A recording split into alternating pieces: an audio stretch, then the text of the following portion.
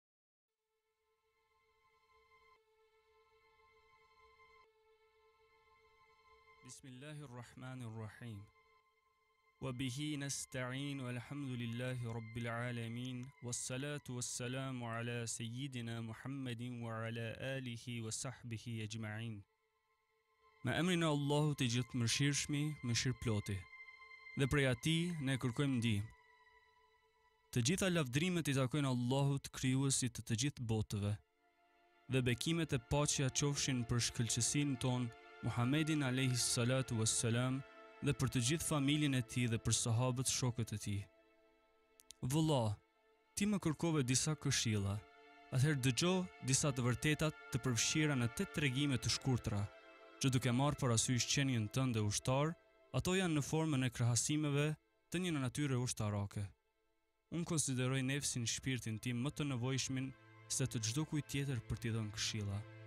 Në një kohë, unë iu adresova nefsit tim në mënyrë të hollësishme me tetë fjalë të inspiruara nga tetë versete të Kur'anit, prej të cilëve unë pata përfituar.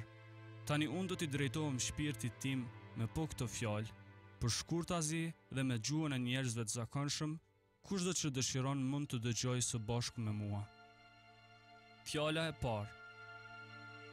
Bismillah është fillimi i të gjitha gjërave të mira. Edhe ne gjithashtu do të fillojmë me të. Dije o nefsi im!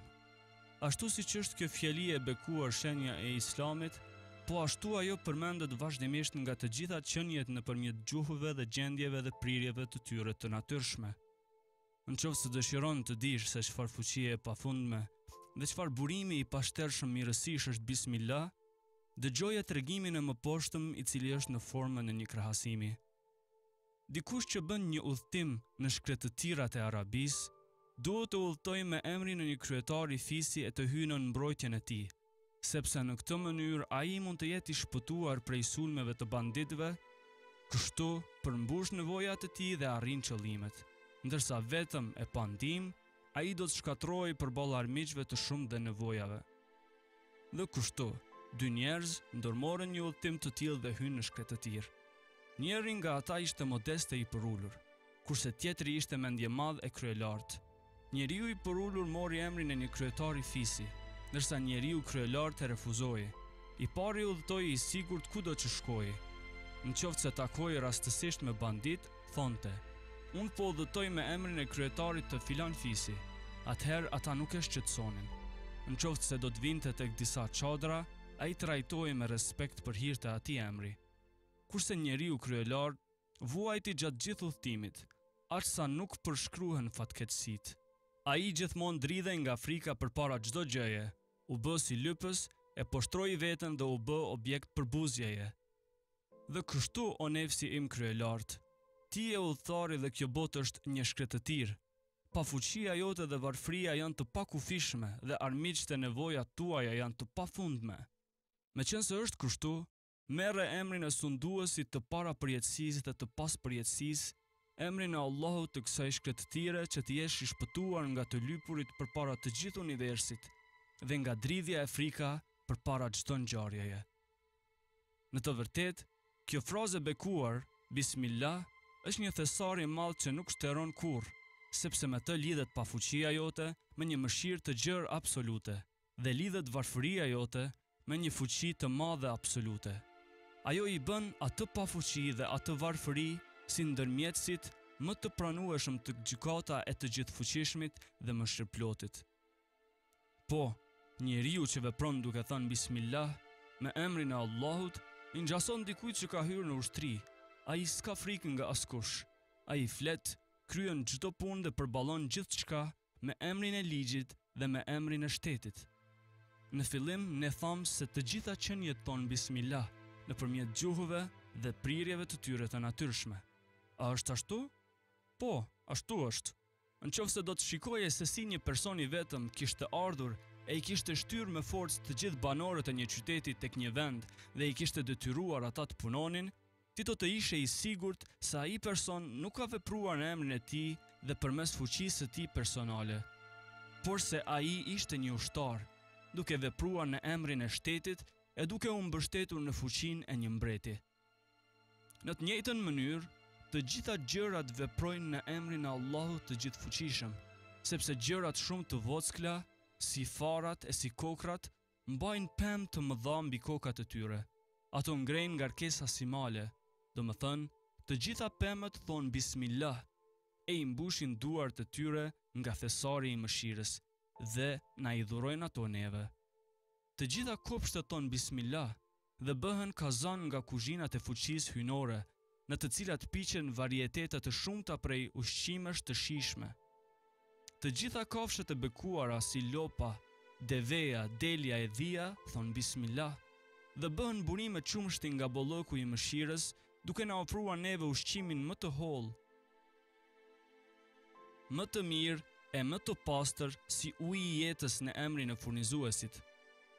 Rrënjët dhe damarët e butë si mëndafshi të të gjitha bimëve dhe pemëve si dhe barishtet thonë bismillah dhe shpojnë e kalojnë përmes shkëmbinjëve të fortë të tokës, duke përmendur emrin e Allahut xheleshanuhu, emrit të Gjithëmëshirshmit çdo gjë u nënshtrohet atyre.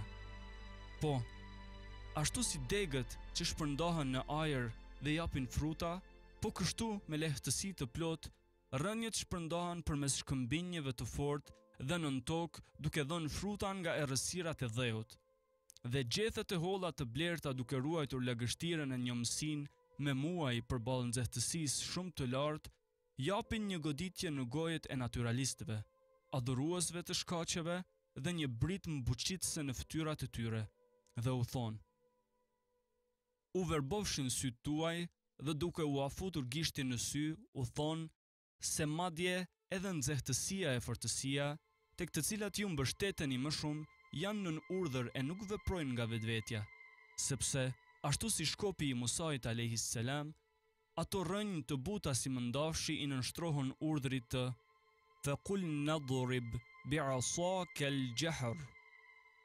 Dhe ne i thamë, O Musa, bjeri gurit me shkopin tënd. Dhe i bën ato gjethe të holla e të njoma si letra e cigares, sikur të ishin gjymtyrët e Ibrahimit alejhi selam të lexojnë versetin kundra nxehtësisë së zjarrit. Ja naru, kuni bardan wa salama. O zjarr, bëhu i ftohtë dhe paqe e siguri për Ibrahimin. Meqenëse të gjitha gjërat në efekt thonë bismillah dhe na i japin mirësitë e Allahut me emrin e Allahut, atëherë edhe ne duhet të themi bismillah, të japim me emrin e Allahut, të marrim me emrin e Allahut Dhe ne nuk duhet të marrim nga njerëz të pavëmendshëm të cilët neglizhojnë të japin në emër të Allahut. Pyetje, Ne shfaqim respekt e nderim për cilindo që është shkak i ndonjë mirësie për ne. Atëherë çfarë çmimi na kërkon Allahu ynë, i cili është pronari i vërtetë i atyre mirësive? Përgjigje, Po, Çmimi që kërkon dhuruesi i vërtetë i atyre mirësive të çmueshme përmblidhet në tre gjëra. E para është dhikr, përmendje, e dyta është shukr, falënderim, dhe e treta është fikr, reflektim. Atëherë bismillah në fillim është përmendje, elhamdulillah në fund është falënderim. dhe midis atyre të dyjave të perceptosh e të mendosh se ato janë mrekulli të fuqisë së Krijuesit të vetëm dhe dhurata nga mëshira e Tij e gjerë, është reflektim. Por, a nuk do të bëje një veprim prej budallai në qoftë se ti do të puthje këmbët e një ushtari në shërbim, i cili të sjell dhuratën më të çmueshme të një mbreti dhe nuk njeh pronarin e dhuratës? Atëherë, të vlerësosh e ta duash shkakun e jashtëm të mirësive, dhe të harrosh dhuruesin e vërtetë të mirësive, do të ishte një mijë herë më shumë marrëzi. O nefsi im, në qoftë se nuk dëshiron të jesh si një budalla i tillë, jep me emrin e Allahut, merr me emrin e Allahut, fillo me emrin e Allahut dhe puno me emrin e Allahut. Wassalam.